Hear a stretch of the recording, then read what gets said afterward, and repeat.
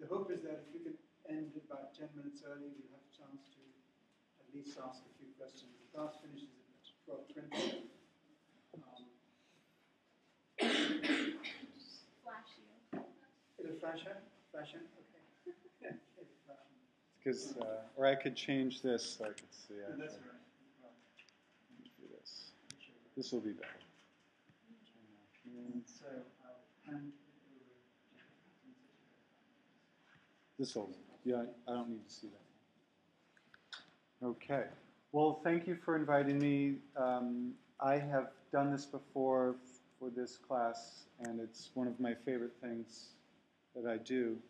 Uh, and it paid off. It's paid off uh, in that recently I was invited um, on short notice to submit a chapter for a book that's coming out in November, uh, and they wanted me to write something about a traditional city in Asia somewhere. And so that's what produced the reading that you had for today. And the only reason I felt comfortable uh, doing this very quickly is because this class and this presentation has kept me up on the topic. Uh, it's actually the first time I wrote it, it was a term paper for my, uh, my professor at MIT, uh, Professor Hassan Uddin Khan. And um, so it was kind of um fitting that uh, I return the favor and present this paper, or the continuing evolution of this paper, uh, on a regular basis over the years. Um, and so uh, the, the, the focus of the book, the uh, version that you read, was more about how the city operates as a cultural artifact, and that was very much the focus of that. But it also, in the context of uh, historic preservation, uh, offers an overview. And assuming that you all read and studied it very closely, or will soon, uh, I'm going to dip, uh, take liberty to not go over a lot of the details uh, that are covered in the, um, the reading, and dip uh, more specifically into the implications for historic preservation practice of the situation presented by this specific city and its uh, historic core, the palace in central Java. Um, the interesting thing uh, that ties both versions together is that when you look at a photograph like this, you say, oh, how interesting, this must have been in an archive from the 19th century, back when there was still a connection to the historic way of life. Um, uh, but actually, this was taken uh, in the 1990s. I think 1994 is when I took this photograph. And uh, it was a very strange thing um, that I experienced. And I'm going to go a little bit autobiographical, and this will serve to introduce myself as well. Um, I was a student at the Cooper Union uh, in New York City, a school not well known for its uh, veneration of tradition. Um, it was very much an arts, art, art school version of architecture school, still is. Um, and I was in my third year of a five-year program, and I was doing a, an analysis project on Louis Kahn's Salk Institute, and I started by looking very much at the structure and how the building was built, and was very found it very interesting. Very quickly, I realized that the moment of truth of this building is not the building itself, but the space that is created uh, in the center of the complex. And so I started thinking a lot about the space and less about the, the solid uh, form of the building itself. And so that took me into uh, an independent study of cities, and I learned Italian, was all set to go to Rome, but something happened. My girlfriend sent me this photo from her trip to J- Central Java. Uh, and she said, um, if you're interested in space, the space between buildings, you should take a look at this. And there was this mysterious gateway that gave onto this uh, different world beyond the gate. And um, even though we broke up soon after that, uh, I was still hooked on the whole Java thing. And so I skipped the trip to Italy uh, and learned Indonesian, got a three month grant, and arrived um, at this gate um, not long after uh, to look at how the Javanese city and Javanese architecture dealt with the formation of space, especially how spaces get charged with cultural meaning. And that was what I was really looking at. Um, for context, I had never been here before, and so I was just learning myself.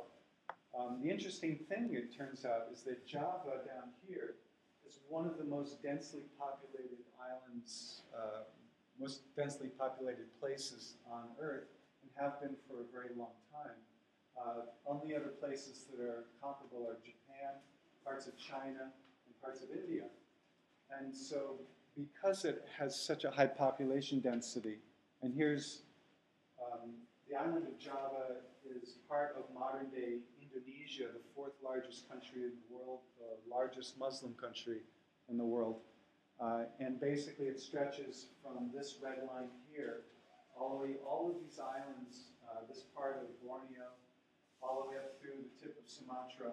All of this is Indonesia. It's about the same breadth as the United States, but much smaller in land area. And of all those places, Java is the most densely populated and the dominant culture. Uh, and it's formed by a string of volcanoes that erupt just often enough to create very fertile soils, uh, which supplied a, a very rich agricultural production and thus the source of great wealth and progress. Uh, in modern day Indonesia, the capital is Jakarta, established by the Dutch. Uh, it's got skyscrapers and traffic jams and all the things you would want in a developing world city. Um, the, uh, the kings of Java ruled until World War II, ostensibly uh, because the real rulers were Dutch colonial powers. Then the Japanese invaded, and then after World War II, Indonesia fought a war for independence from the Dutch, won, and General uh, Suharto became the uh, benevolent dictator uh, for 32 years uh, until he was deposed basically uh, in 1998 uh, during revolts. But he was able to turn his brutal military iron fist into a velvet glove by inventing this thing called the Indonesian culture. Indonesia is kind of just uh, this bizarre collection of 400 distinct cultures, uh, and of which the Javanese is the dominant, has always been the dominant culture. Uh, but he put together this mythical cultural formation called Indonesian culture and promised uh, economic development. And so he's the father of development for Indonesia and delivered very uh, remarkably on his promise of development. Uh, and when it all came falling apart in 98, that was time for him to leave. But Indonesia is, and Java specifically, is filled with uh, extreme um, wealth in terms of cultural uh, cultural and material uh, wealth. It's, um, this is the largest Buddhist temple in the world, Borobudur, uh, of central Java. And uh, there are Hindu temples as well, Prambanan, of the stone culture. And these, these monuments fit what we think of in the West as suitable objects of preservation. They were built at a, at a flourish, uh, at a moment of high cultural achievement and wealth by rulers who felt comfortable investing in such things. And, um, but then fell into disuse and disrepair, and, and kind of the forest took over. And so this is the kind of thing that, that fits our model of historic preservation because uh, the people who built it uh, the connections to those people who were part of the living culture are all severed. Uh, there is no longer a Buddhist, a strong Buddhist. Uh, there is a Buddhist community, and they're centered here, but it's not uh, strongly connected to the original Buddhist community. It's a more recent arrival. And so it's familiar to us in the West where we think the reason we need historic preservation in the West is because we have this uh, artifact from this former culture. I'm, I'm, I'm caricaturing, please forgive me. Um, but um, the interesting thing uh, that this study um, that you've read about is what do you do when the culture has not uh, left the stage, has not left the scene? What do you do when the people who built it, the, or at least the great grandchildren of the people who built the original uh, fabric that is worthy of preservation, what if they're still around? And what if they're still continuing the practices that produced that original uh, artifact or set of artifacts worth preserving? Um, what does that mean for how you approach the practice of preservation? Um, and so that's what we're going to look at. This is um, a diagram of the Hindu cosmological model of the universe. At the center is the great island, uh, and with the mountain Meru, where the gods uh, of Hinduism live, and they're surrounded by a series of concentric oceans and ring continents until reaching the vast nothingness on either side. So, this is the Hindu structure of the universe. Um, in the early centuries of the Common Era, uh, the trade winds blowing between China and India brought Chinese and Indian merchants to the island of Java and left a very deep cultural imprint on the island. Uh, both cultures did, but the predilection for uh, anything Hindu uh, made the Javanese grasp it, everything coming from India, and deny any connection to anything coming from China. It was their cultural uh, prejudice against the Chinese and for and an admiration for anything from India. And so the Javanese kings, and that doesn't come out. Let's, let's, basically, this pattern of the universe uh, in India, the practice was to take this pattern and create uh, a microcosm of it on earth. And so that would be a temple palace complex. And so there are still traditional Indian cities that have that form still intact and preserved uh, in India. Uh, but the best model I've ever seen is here in Java, which is the city that I arrived at. It's called Solo, or the traditional name is Surakarta. So this is the, the Palace of Surakarta. And the thing that's not really showing up, well, we'll keep going. Oh yeah. so this this model of the universe in Hindu and then Hindu Javanese. So so the Javanese embraced the Hindu religion and um, folded it into the traditional Javanese religious practices and beliefs before that were already uh, prevalent in the island of Java. And in the process, they created uh, a palace complex that, that replicated the Hindu practice of serving as a model of the universe. So the palace complex itself is, follows this pattern. And when I arrived in uh, Solo, Surakarta, uh, I found that there was already, um, there wasn't what I expected at all. Uh, it turns out that this gate that I had come to was part of something um, much bigger. I, uh, it turns out there was a palace at the center of the city. And this palace, uh, maybe this is the right way to look at it. Um, the gate that I was attracted to was over in this neighborhood, uh, which was peripheral just outside the outer palace wall. And it turned out that there was this much larger thing going on uh, that all had to do with these interlocking nested courtyard spaces that formed a cosmological model of the universe. And so um, the vast ocean beyond the ringed oceans, uh, the ringed continents and ocean pattern are out here in a vast town square at the north and the south of the palace. And then each gateway is a continent, and each courtyard is an ocean. And so the rings of continent, you know, the gate, each gate is continent, ocean, continent, ocean, continent, ocean, until you get to the mountain at the center of the complex. And uh, this wasn't just uh, a reflection of the uh, cosmological order, it was also considered to be an instrument for creating and re- uh, sustaining the balance between heaven and earth. Because all good fortune flows from heaven to the earth through an umbilical cord imagined connecting heaven and earth, and the belly button of the world is right here.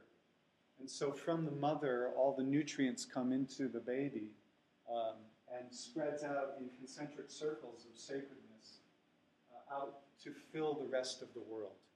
And so this palace complex, and I've turned them all on their side to maintain the orientation. North is to the right, um, south is to the left. And this is the sacred ceremonial axis running north-south. And so we have the, the vast ocean at the north and the south, and then each gateway and courtyard um, leads to the sacred center. And it turns out this is not just a simple reflection of uh, the cosmos in the Hindu Javanese belief system. It's actually an instrument for creating balance. So, in order to ensure that the good fortune continues to flow into the world, uh, different ceremonies would be held at different locations in the palace in order to ensure that flow or to restore the balance. So if there is a famine somewhere in the palace, uh, or if there's a famine somewhere on the island of Java, uh, let's say an outer province off to the uh, west, well, then the appropriate location that is associated with that location on the island of Java would be the location where a ceremony, is sacrificed, some ritual would be enacted, and that would actually, uh, it was believed that that would resolve the problem and restore fertility or to calm an erupting volcano uh, or to uh, increase the wealth of the people in that area of the, of the, the island. And so uh, this wasn't just a dead monument that I expected when I arrived. It turns out there, uh, one of the first people I met, I thought he was the man who just managed the tours at this crumbling, broken down palace. Uh, but it turns out he was a prince. And it turns out that there were 36 princes and princesses. And it turns out there were six queens and one king. And it turns out that there was still a very strong religious practice uh, and a lot of followers who still believed in this uh, system, and it was still growing, going strong.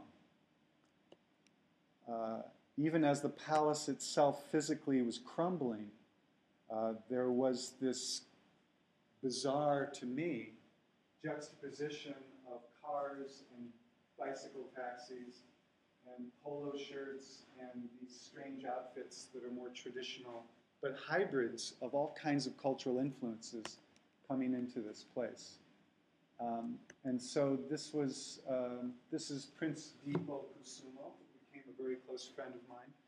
And when my three month grant ran out, I decided to stay a little bit longer. And before I knew it, I was there for four years um, and doing work on the restoration of the palace. Um, I'm going to do a quick sampling of some of the things that uh, shocked me into realizing that this was not a dead monument, but very much uh, a living piece of cultural, uh, living culture. And the architecture and the buildings play a central role. Um, this is one of the oldest pavilions of the palace, a wood structure, so very vulnerable to rot and very important one to uh, maintain on a regular basis. At the center, there was a glass pavilion with a curtain in it. And the story was that inside there, there's a cannon, but no one's allowed to look at the cannon. No one's allowed to see it. But three times a year, it needs to be cleaned by priests. And so uh, this is one of those cleanings. They pour buckets of water on the pavilion. Uh, one of the priests um, cleans the cannon. This is one of the uh, servants of the palace. You can tell because there's wearing the red and gold uh, samir, which is an indication to the Queen of the South Seas that he is a friend of the king's. Um, and so it's dangerous to enter the palace without wearing one of these things because the Queen of the South Seas, uh, who's not has nothing to do with Hinduism, but she's one of the uh, elements of the belief system that existed even after the advent of Hinduism and the subsequent advent of Islam. And so the pavilion gets cleaned, the priest cleans the cannon, and as the water is squeegeed off of the pavilion, uh, these women scramble uh, to try to get the water into their, their bottles. And so they have funnels and jugs and plastic bottles, and they get as much of the water as they can get, even squeezing out the rags uh, to get the last drop of water that came off of this building. And this water is not very appealing, but they take it home and they, they mix it into soup or they drink it whenever they're sick, or they put it on their crops to ensure a harvest. Um, you've seen these things before. This is part of the, another ceremony that occurs several times a year. Um, this is actually incorporated. These are symbols of the linga and the yoni, the male and female genitalia of Hinduism but they are used in the Islamic uh, celebration of the uh, Prophet's uh, birthday and on the anniversary of his ascension to heaven. Um, it's paraded through the palace and taken to the Grand Mosque at the north uh, square at, uh, of the palace. And then young men scramble again to tear these things apart, grab whatever they can from it, because of the power that it holds for healing or for crops. And I think I have one more. Um, so the first of these ceremonies, it seemed like, okay, there's a bunch of old ladies who are still hanging on to these traditions. I understand that. Um, but then it turns out that these young guys are into this too. So, okay, it's kind of a cult following, but still, you know, it's not very widespread. Uh, but then came uh, the Javanese New Year, uh, and it starts in the afternoon, where the the uh, servants of the palace, of which there turn out to be thousands, turns out they're not paid because the palace has no money. If they had money, they would not let their buildings crumble into pieces. Um, so they're basically volunteers. They're given a little bit of money uh, just to be present for these rituals and uh, they sit in silent vigil uh, for several hours, waiting for darkness uh, to come. And this is them filing in through the gates of the palace. I'm not sure why it's so dark, but um, but they're not the only ones. It turns out that tens of thousands of people from the surrounding villages walk into the city of Solo and line the streets in order to be present for the uh, the Javanese New Year uh, celebration slash ceremony slash religious ritual. And so they're waiting at the gates of the palace until uh, the big event.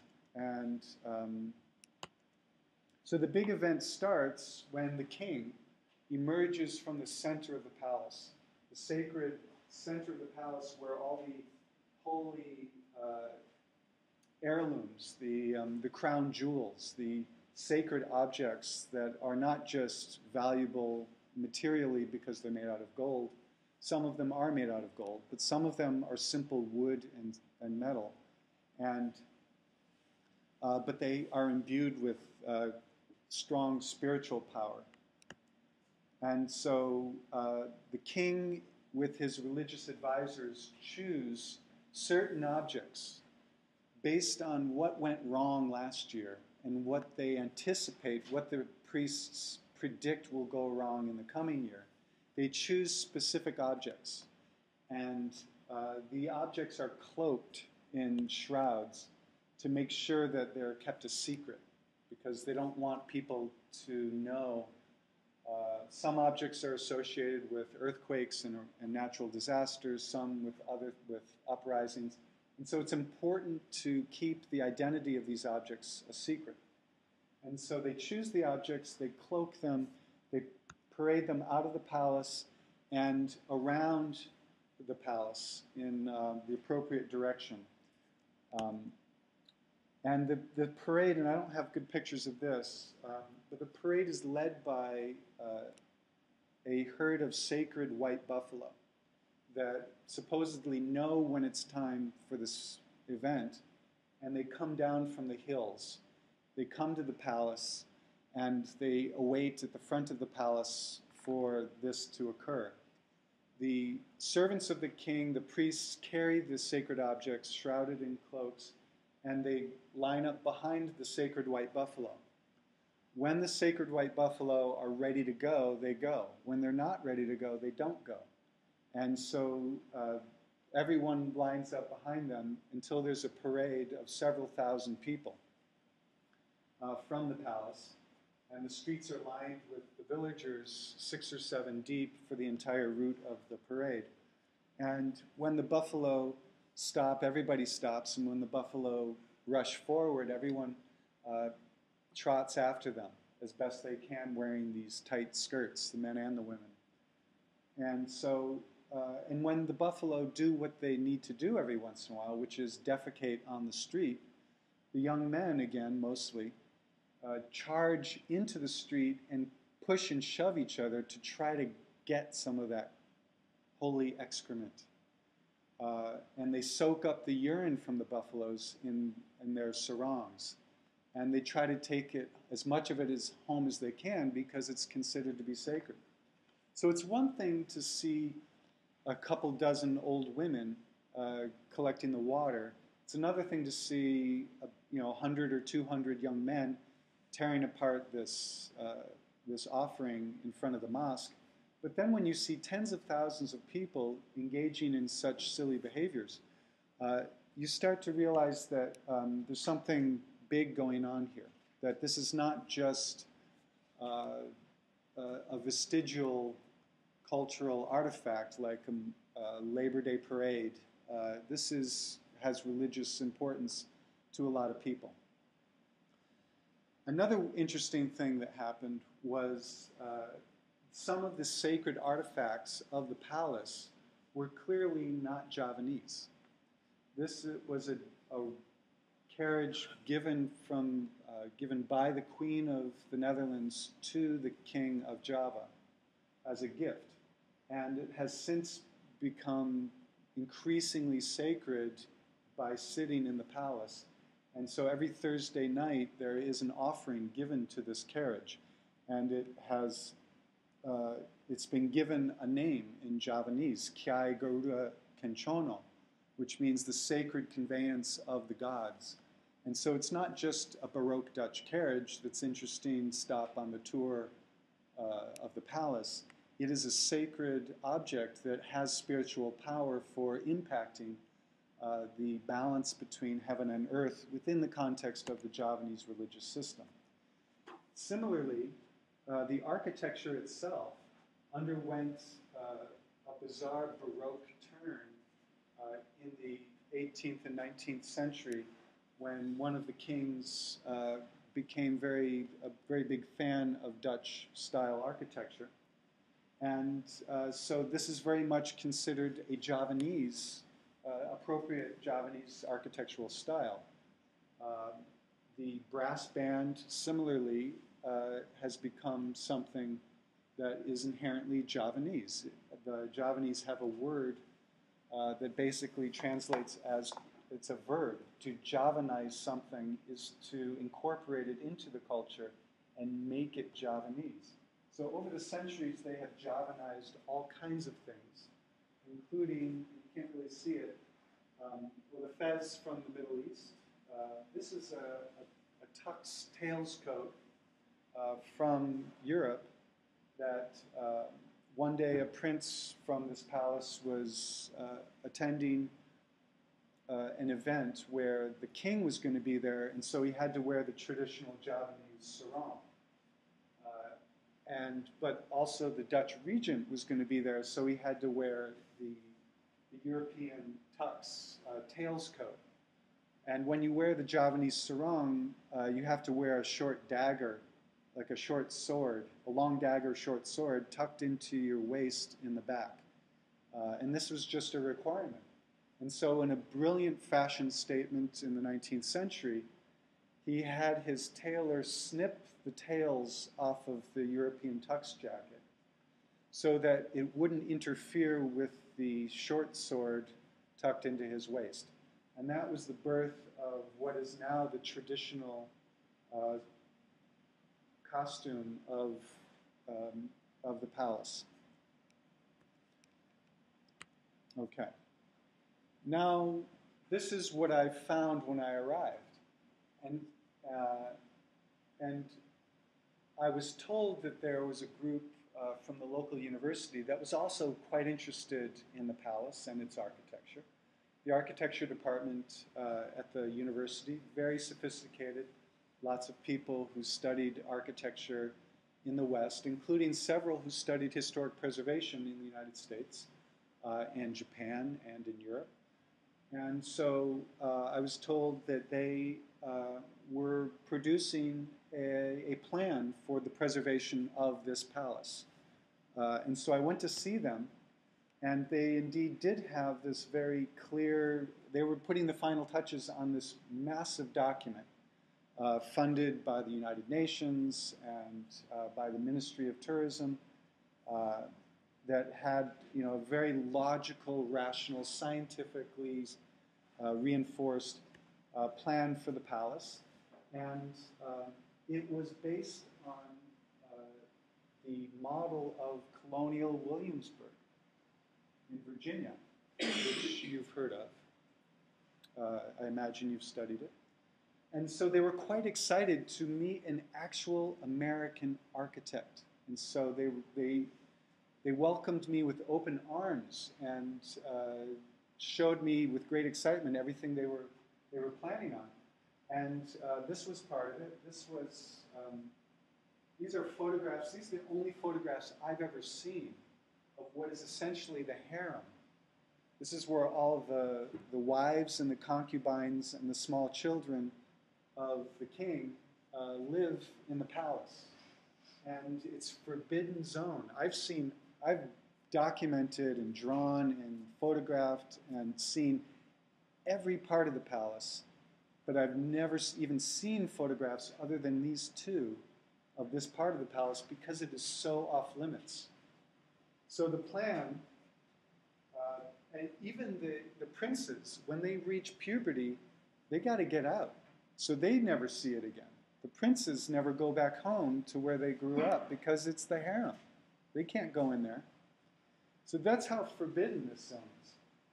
Um, but here it describes um, the plan to uh, take this and um, move, move the, the women and the children out of the palace, fix it up, and convert it into a five star hotel.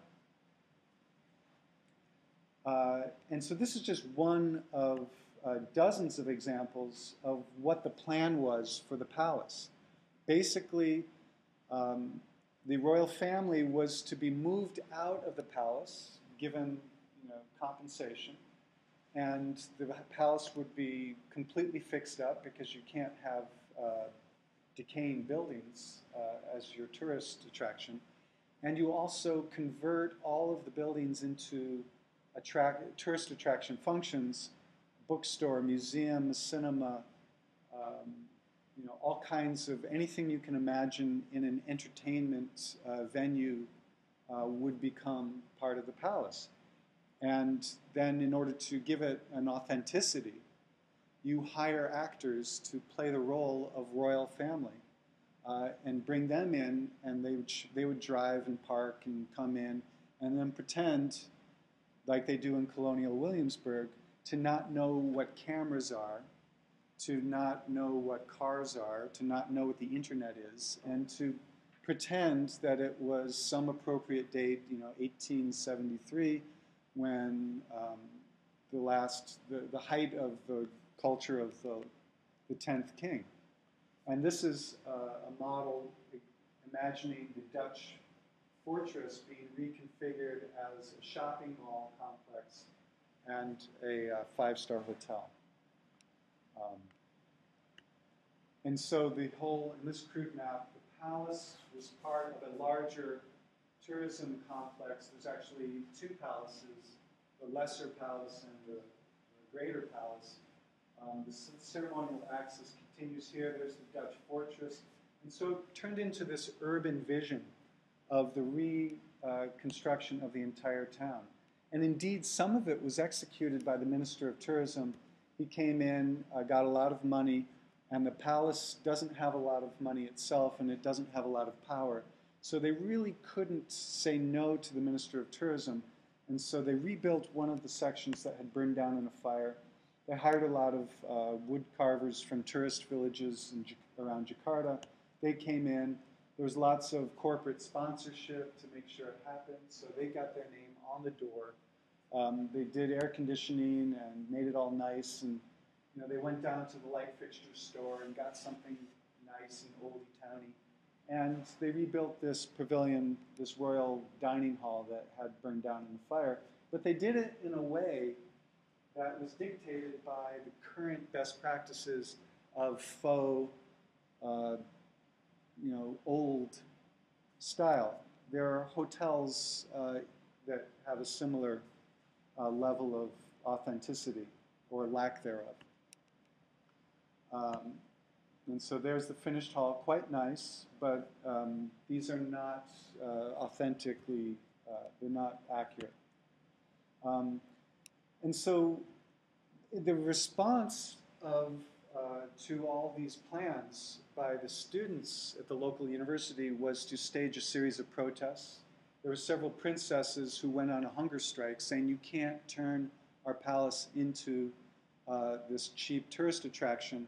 We live here. The religious practices are still important. You can't just stop this uh, whole thing. You wouldn't do this to the Vatican. And so uh, they, the royal family, some members of the royal family asked me for help in uh, navigating um, this, these troubled waters. And so the president of the Ise Shrine, which I believe you've also studied. We didn't mention. You did? No, we didn't. Okay. It's been mentioned. So the trouble with wooden architecture is that it decays and doesn't last long. So we tend to uh, inherit stone structures or grandiose structures made of durable materials like Borobudur and Prambanan, the stone monuments of Java. But in Japan, they have a long tradition of uh, maintaining forests and maintaining craftsmen, and every 20 years rebuilding uh, temples like the Ise Shrine, so that each generation uh, gets a chance to take on the responsibility for preserving the knowledge of how to build these sacred temples. And so the wood is harvested from uh, the sacred forest. Uh, it's prepared and dressed, and the entire process of construction and reconstruction is a religious undertaking. The woodworkers are not just trained builders, they are priests. They are spiritual authorities uh, prepared uh, not just technically to build, but spiritually to engage in the appropriate rituals. Um, the king uh, of Java is the man in charge. He's at the center of the maintaining of the rituals. Uh, and when we uh, successfully got permission to do our work in a different way, before we started anything, we had to perform the sacred offerings. Uh, we engaged in a set of document, you know, documenting the palace, doing measured drawings. Uh, we carefully uh, took castings of some of the pieces to make sure that uh, we understood uh, what the tradition of ornamentation would be. And prior to even entering buildings, um, the chief carpenter, the head builder, who is also a priest, uh, would engage in a series of prayers to make sure that everything was being followed, all the rules were being followed. Uh, so here he is, the chief carpenter, who is also a priest and a very important figure in the hierarchy of the palace. Um, and when we said to the, the king, uh, well, we were fortunate to attract the attention of the Aga Khan Award for Architecture, which wanted to hold the 1995 uh, Aga Khan Award for Architecture awards ceremony in the palace in Java. Uh, and so we approached the king and proposed that we do this and um, suggested that there might be money available to do to perform some much needed uh, restoration work on the palace. Uh, he said, Well, I know this isn't central to the ceremony itself, but it is central to, it's the, the greatest risk to the per- ongoing performance of religious ceremonies at the palace is that the tower, dedicated to the Queen of the South Seas, which is off limits to everyone uh, but the king and one priest, um, but it was to be converted into an observation deck uh, in the conservation plan by the local university. He said, This tower has several columns that are crumbling. This is the most, most at risk piece of the palace. Uh, if you do this first, then you can do what will serve more directly the purposes of the award ceremony.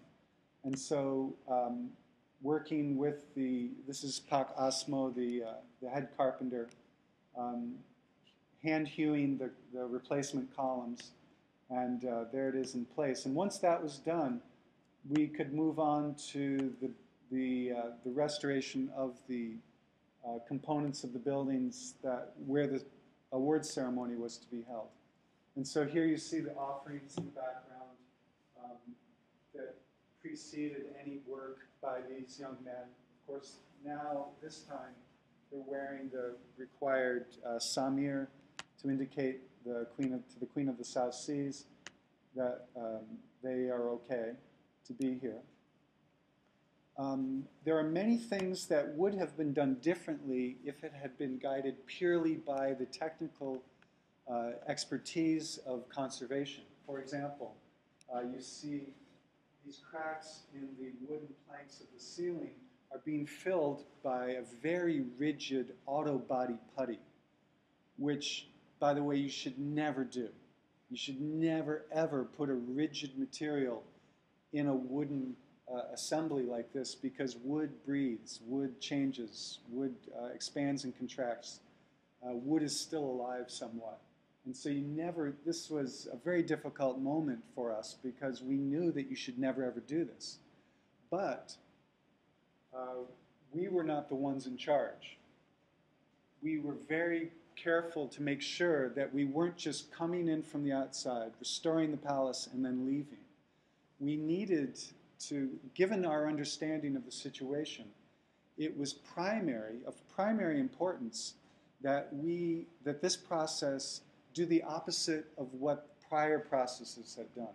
Previously, uh, people had come in from the outside, well funded, well educated, do their project and leave without involving the local community. So this was an extremely disempowering thing to do, and the ability for the local community in the palace, for the royal family itself, to uh, to manage its obligations to the religion and to the fabric of the of the palace, it actually undermined in the long term. It actually possibly did more harm than good. And so we were committed to not repeating that error.